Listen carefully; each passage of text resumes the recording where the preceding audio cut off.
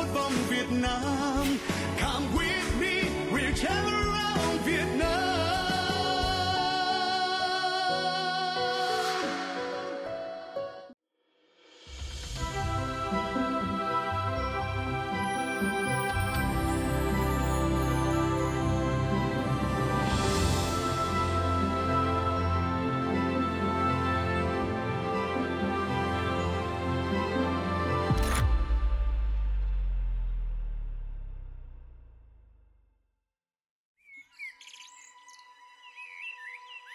khám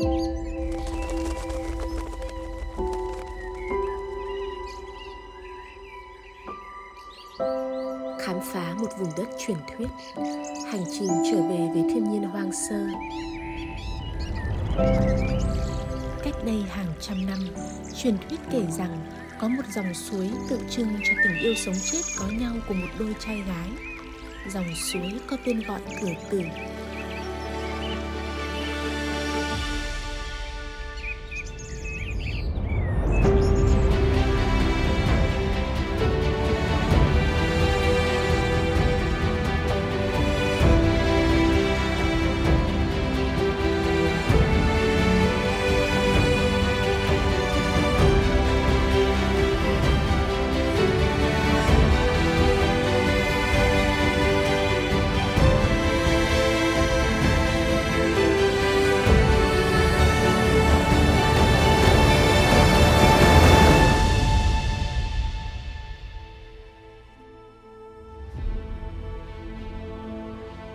Hang Phượng Hoàng nằm trên núi Phượng Hoàng, huyện Võ Nhai, cách thành phố Thái Nguyên khoảng 45 km.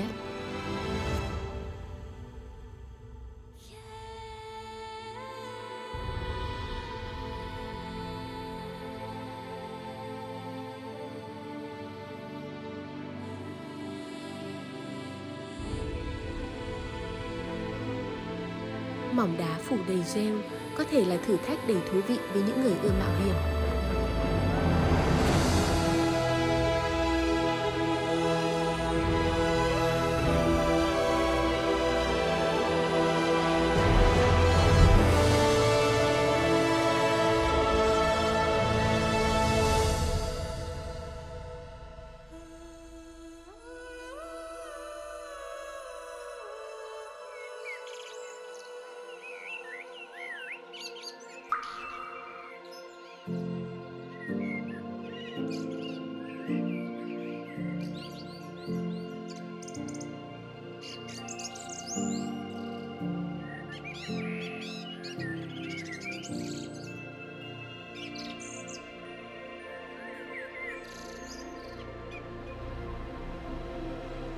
Kết thúc cuộc hành trình, tôi đã có trải nghiệm làm trà truyền thống tại La Bằng, một trong bốn vùng trà lớn của Thái Nguyên. Mọi công đoạn làm trà truyền thống của người Tày nơi đây vẫn được bảo tồn nguyên vẹn. Hòa mình vào không gian tràn ngập hương thơm, mỗi người khách đến đây có lẽ sẽ lưu luyến nhất sự đậm đà, hồn hậu của cảnh sắc và con người nơi này.